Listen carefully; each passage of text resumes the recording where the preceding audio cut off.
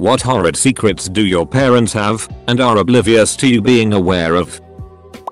My dad doesn't know that I know how my grandfather, his dad, died. I had always wondered why I never knew my grandfather but it was always a touchy subject so I never asked. I knew my dad basically grew up without his father but I never knew why. When I was about 22 or 23 my brother told me what had happened. My grandfather had committed suicide in front of my dad when my dad was about 8 or 9 years old. Even though I know now, I still won't bring it up. Edit. I can't thank you all enough for the outpouring of support and taking the time to share your own stories. By speaking up and speaking out we can help reduce the stigma of mental health and raise awareness for those who need it. When I was a child, we used to be semi-close to my dad's family. My grandparents came up, 2 plus hour drive, to talk to my parents about an adult issue and 10 year old me was told to stay in my room with the door shut. After that, we never spoke to them again. Except for one letter that I got from them expressing sympathy when my other grandmother, who I was very close to, passed away. I had no idea what happened. Years later, I found a cousin on Facebook and we happened to go to the same college. So we met for coffee. I found out that the reason we no longer spoke was because my mom opened a whole bunch of credit cards and racked up a bunch of debt in my grandma's name that she never had any intention of paying back. My cousin and I kept it between us and she has no idea I know. Edit since this blew up, I'm about to turn 30. I have excellent credit and I check it regularly for any suspicious activity. I'm good. But thank you for all the advice. My dad used to talk about growing up really poor, having to get food from food banks, etc. It's one of the reasons that now that he owns his own business, he donates to food banks and all sorts of charities all the time, paying it back. Well, it turns out that my father's father owned a massive construction company and made millions of dollars in the 50s and 60s. My uncle was selling massive amounts of sugar and got busted. My grandfather bankrupted himself paying off judges and lawyers and all that to keep my uncle out of jail for most of his life. That's why my dad grew up with nothing. He has no idea that I know. My divorced parents are both cheating on their current spouses with each other. Not some horrid secret, but I sometimes hear my dad talking behind closed doors to my mom who passed away suddenly years ago. He typically tells her our life updates and that he misses her. My sister got married recently and I overheard him from outside his room telling my mom how beautiful my sister looked and how great her husband is that she never had the chance to meet. About how they had always spoke of that moment, watching their child marry, and he wished she was there with him to see us. We rarely speak about my mom at home. But 14 years later she's still very alive in his heart. It's gut wrenching at times. I want to preface this by saying I was adopted. My dad was 18 and wanted one last romp with my mom, 17, before shipping off to the military. This is where I come from. She decided to adopt me out so we could both have act. He never stopped loving me or thinking about me. I haven't told my adoptive mom I know they had these. And I may never. Edit. Wow. I never expected this to blow up like it did. So I'm going to go through and answer some common questions. Yes, I know my bio dad. We have met and talked several times. We care about each other. But we don't get along. Mainly because he is a gun-toting, God-fearing Republican who voted Trump and I'm a liberal feminist, not Radfem. But still, who volunteers at PP. Need I say more? No. I'm not mad at my adoptive parents. I love them very much. And I think my adoptive dad knew somehow that I would be the one to find those. I know my A mom and A dad are good people. A mom is a bit of a narcissist. But that's another story, and that they were thinking of my well-being at the time. I don't think it's worth bringing up and starting a fight over because it was a long time ago and, as someone who had never had children, I have no idea what the whole situation was. I'm 31 now. What's done is done. My parents got engaged after a drug-fueled 11-day bender in 1979. Firstborn. Came along in 82. Still married. My mom had to do some soul searching for AA. She wrote a list called life resentments and having kids was the first bullet point. Found it while I was looking for my social security card to apply for my first job at 16. She kept it in a safe. My dad died when I was 14 and everyone refused to speak of it. My grandparents said he fell down the stairs, and they've maintained that to this day. My mom told me that he accidentally hung himself and she tell me when I was older. It took 9th grade me all of about 3 days to figure out he had died of autoerotic asphyxiation. She confirmed it years later. My biological dad died when I was 2, car accident going to his next duty station. And not too long ago I got a box of letters he had sent my aunt, uncle and his parents. Since he died when I was so young, I didn't really know him that well, but this treasure trove of letters gave me some real insight into who he was. It was a lot of letters from the time he was in the navy before he married my mom, all the way up to not long before he died. In one set of letters he discusses with my grandparents how he and my mom aren't getting along. He mentions that they might get a divorce, but he wanted their help in getting custody of me. I think mostly because my mom was born and raised in Ireland and not yet a true citizen of the US so he was afraid he'd never see me again if I went with her. Apparently she was fine with him taking me, the reconciled. But it's interesting to know that he would have given me up and I'd have grown up in LA instead of with her, ultimately on the east coast to the US. One year my family went on vacation where I took a lot of pictures using my dad's phone and I wanted to put them on my computer so I could share them with friends. I grabbed his phone and started looking through his photos looking for my vacation photos when I came across my dad and mom's sex tape, nudes, etc. I never told them I found it, nor do I go back on his phone because I don't want to see those ever again. I was fixing my dad's laptop a while later and my mom kept hovering over my shoulder telling me not to snoop through his files and don't go on anything except for what I needed to. I knew what she was hiding, but I wasn't going to tell her.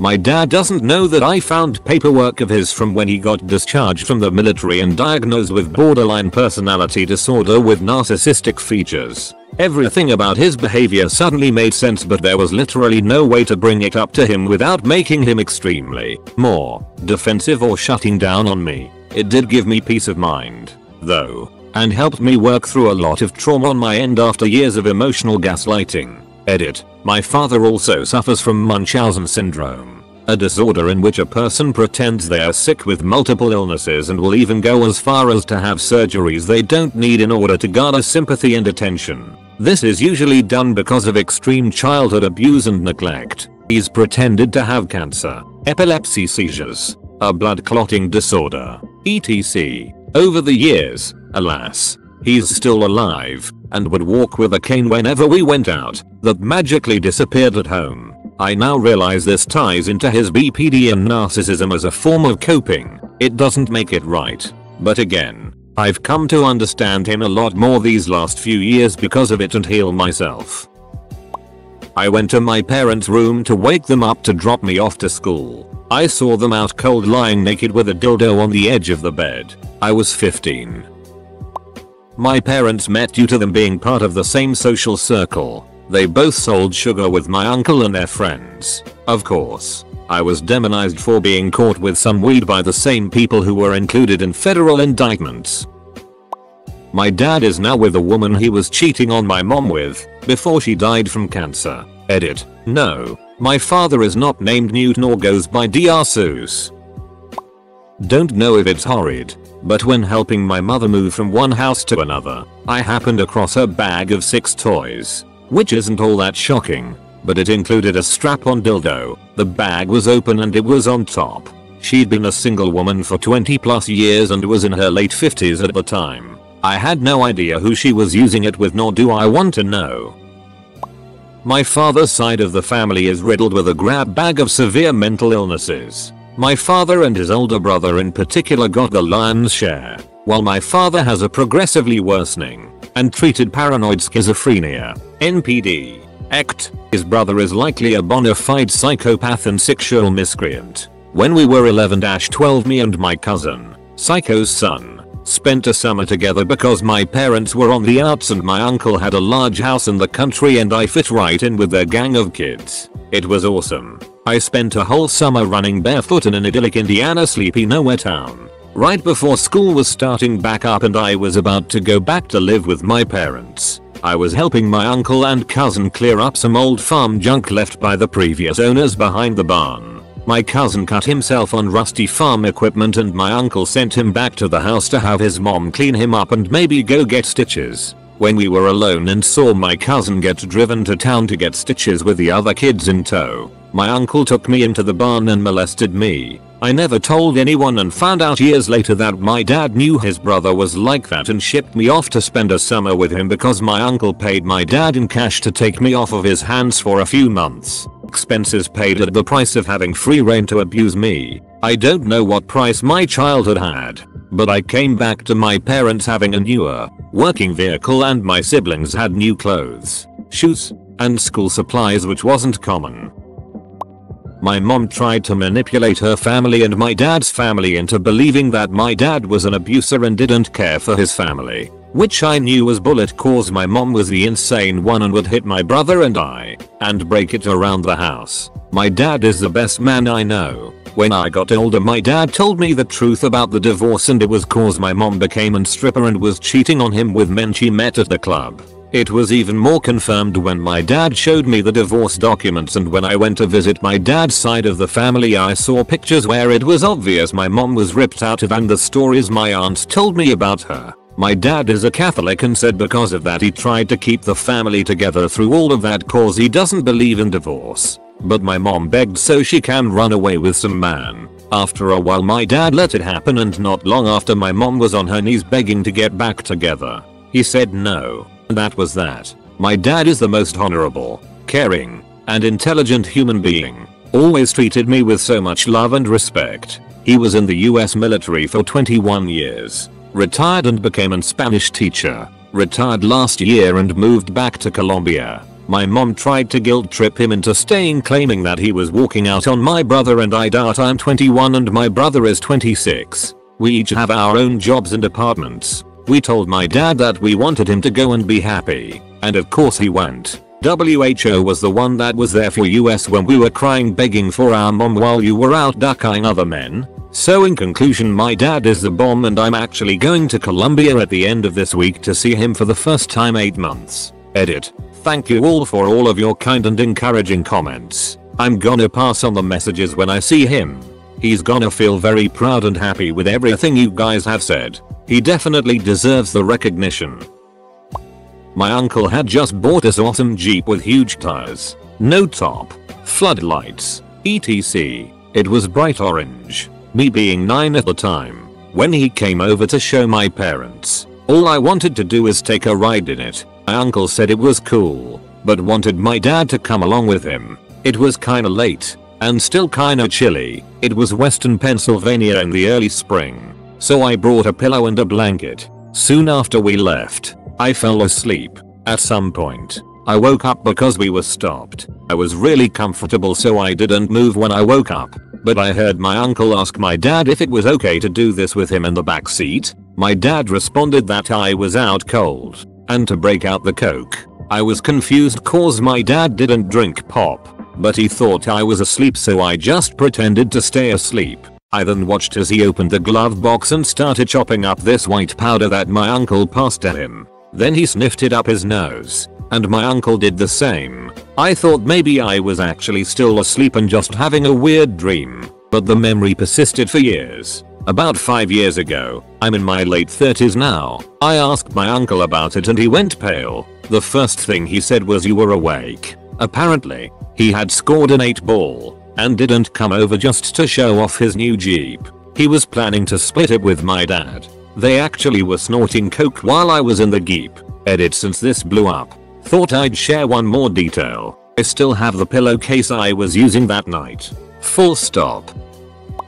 This isn't really my parents' secret, more of a secret about someone else they kept hidden from me. When I was 7, my best friend died. My parents got a phone call the morning after he passed and I remember watching the color drain from my mom's face when she answered the phone. I asked her what was wrong and she assured me that I didn't need to worry and she would tell me after school. She did and my heart broke. He lived about an hour away from me at the time. So we didn't go to the same school and nobody that I knew knew him. So nobody had heard anything about his death. Which was probably a good thing for both me and my parents. I found it odd that I wasn't allowed to go to his funeral. I don't even remember the excuse my parents gave as to why I couldn't go with them, but I figured it was because they didn't want it to make me upset. So I pretty quickly shrugged it off. Well, later that year I bought a cheap little heart-shaped locket from one of those quarter machines you find at pizza places and roller rinks. I decided I wanted to put his picture in it, so I'd always carry him with me and never forget his smile. When I got home I typed his name into Google Images, and among the top results were a few pictures of him, including one from his memorial. I found one of him with a big toothy grin and clicked on it, and my heart dropped. Next to the picture was the headline from the article the photo came from. It read police arrest mother in, friend's name, death. My heart beating three times its normal speed. I read the article, and then another. The woman I thought of as my second mother had killed my best friend. The woman who called me cubby and made me hot chocolate and introduced me to the Jungle Book murdered my brother. I think I kind of went into shock for the next day or so. I couldn't believe it. Anyway, I didn't tell my parents that I knew for 6 or 7 years. I think I was scared of the conversation that would ensue after they found out I knew. Or maybe I just knew they hadn't told me because they felt I wasn't ready and wanted to tell me on their terms. And I had taken that away from them. When I did tell them, it broke their hearts to think that I had been carrying that knowledge with me for so long alone. And that broke mine. I still wear the locket. I bring it with me everywhere. And ever since he died, I try to live my life for myself and for him. He deserves the life that was stolen from him. Edit. Here's a picture of said locket. I found my dad's Yahoo personals profile featuring a picture of him bent over in our living room wearing nothing but assless chaps Profile name Hot Rider for you. And it was taken with my camera. We only had one in the house. But for some reason I decided to check the EXIF. Just hoping. Never mentioned that one to him or my mother. My mom doesn't know I know she wasn't a virgin when she got married. She's fairly religious and says sex before marriage is a no no and kind of looks down at all her siblings family that have done it moved in before. You can say you regret it, mom. But don't be so judgy. Found this out from my dad's old college roommate as my dad has never wanted to talk about this with me. Pops was working in the financial district during 9-11 and was in charge of emergency evacuation for his floor, way high up in one of the bank buildings. Saw the towers fall and had to herd everyone off his floor and out of the building. Apparently someone had a heart attack and collapsed behind their desk. He didn't find this person and they ended up dying there in the office. I think my dad might blame himself at least partially which, on top of the trauma of witnessing the towers fall firsthand, has lead him to locking that part of himself away from the world. One day I want to tell him it wasn't his fault and he did the best he could. My mother told me the scars on her arm were from an accident but they were clearly from one or multiple suicide attempts. I knew when I asked, but I'll let her lie. Edit. Wow. I didn't check Reddit for 24 hours and all of this is here. 1. Yes. Her scars are for sure from suicide attempts. I confirmed with an aunt. 2. Also, they are on both arms. 5-7 in all. My dad finally told me about it this past Christmas. But for years he didn't know that I knew that a friend of his shot himself in the head in front of my dad when he was 16. I found out because my mom told me about it when I was like 18 or 19. But I never wanted to pry about it and wanted him to talk about it with me when he wanted to. It definitely explained an incident when I was a kid. My friend and I were playing on my porch with cap guns that looked pretty realistic. My dad saw us pointing these at each other and flipped out, grabbing mine and smashing it on the wall. I was so confused about that. But after I found out it made a lot of sense. Seeing his son playing with a gun and pointing it at someone else must have triggered some memory of that day. My dad was supposed to be a football prospect in high school, go to college and eventually play pro. Got ducked over, got my mom pregnant, and joined a gang. When he got in too deep and rival gangs were threatening to shoot his whole family, he panicked and my grandpa, awesome helicopter pilot vet, sent him off to boot camp that next day. This was like California in the 80s.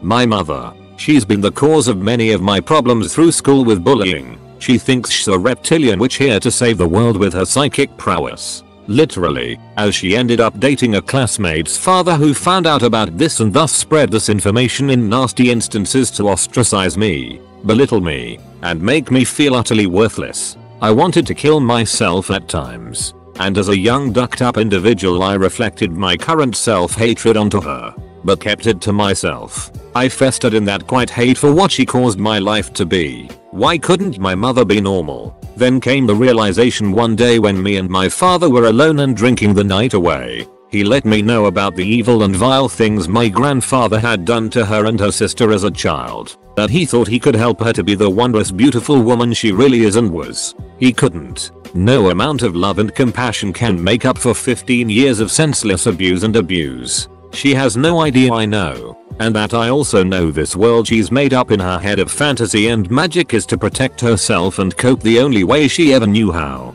I've never seen a picture of my grandfather in my life. Last year she tried to show me one and couldn't understand why I rejected the idea so heavily. I would beat that man's lifeless body until my hands broke for what the lives he's destroyed and affected. I'm a strong and capable individual now through these experiences. My mother will never be who she could have been. It's not her fault. She did everything she knew and did it to her best. I love you mom. Edit. Obligatory thanks kind stranger oh, eh, eh. My parents divorced when I was 6, after which I lived with my mom. When I was 10 years old, I found a list my dad had written of things that could save their marriage, including more oral sex, anal, wife swapping. Never spoke about that to them.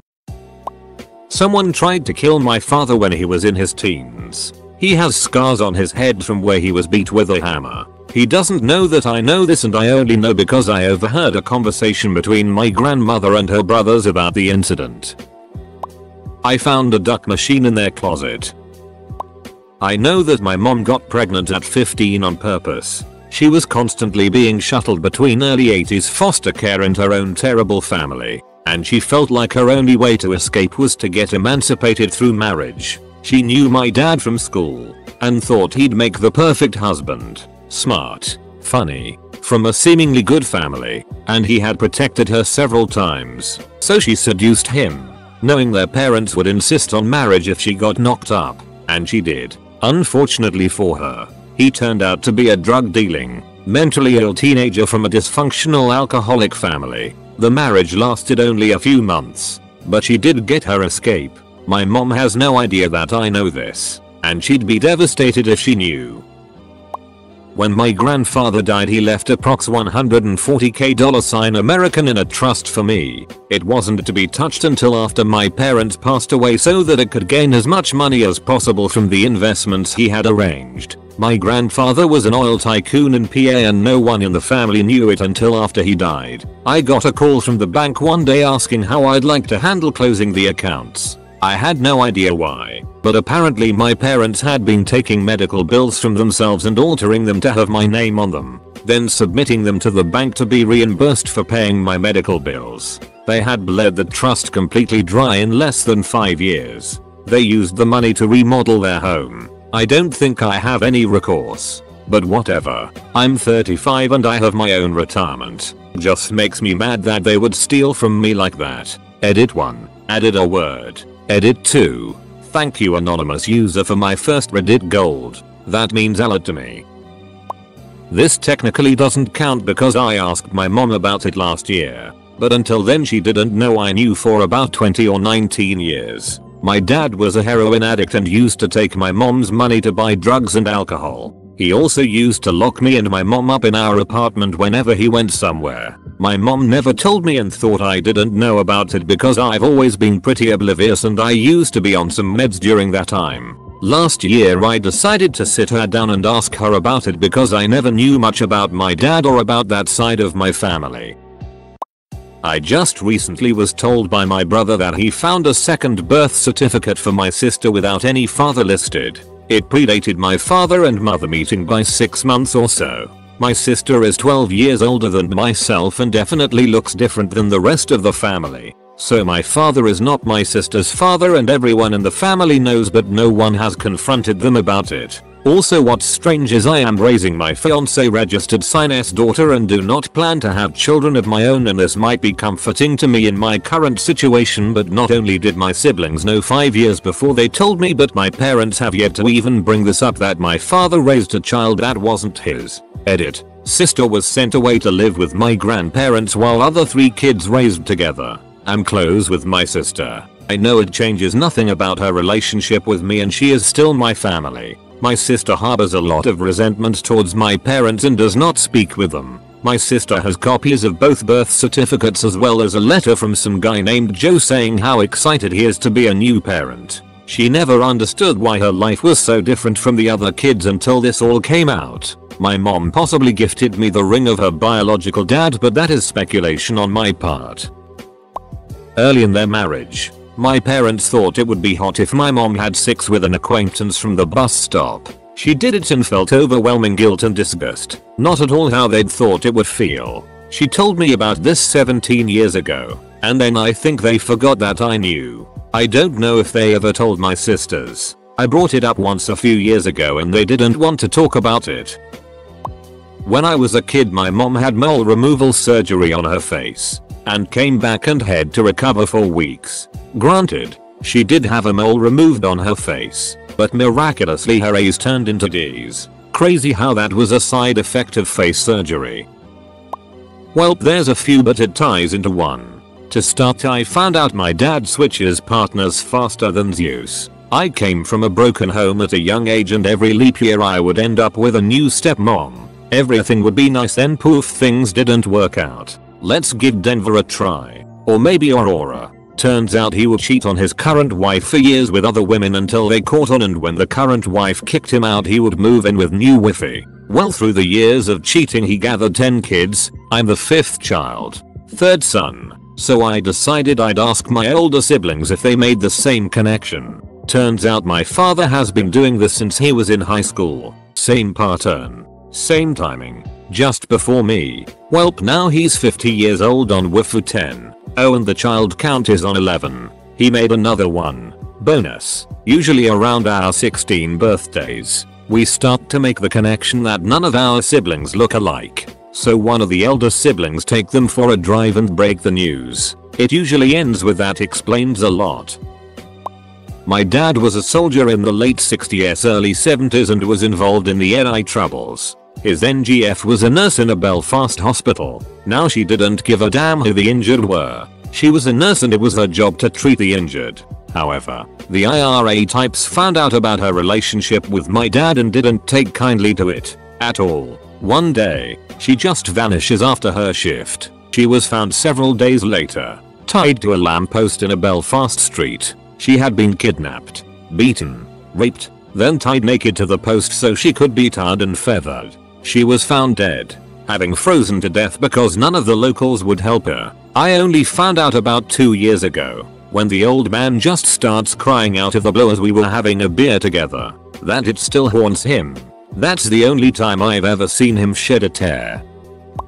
I know my father has a ton of nude pornographic photos of my mother, but he never really bothered to hide it that much. I also know my mother, or both my father and her, had set up an account on MSN, Microsoft Messenger, and used to dirty talk send pictures to internet people. I found out when she forgot to log out one day. I will probably never know if she did it for fun or maybe money. Ah and my father may be cheating on my mother. Edit. People suggest it might be swinging and not cheating. I don't really know but I don't think so. My mother seemed to be annoyed at my father texting didn't knew who he was talking to and called him out on that multiple times. They never spend the night out. And I don't think she has spare time for anything I'm not aware of. I know it's not necessarily reciprocal but still it holds some value I think.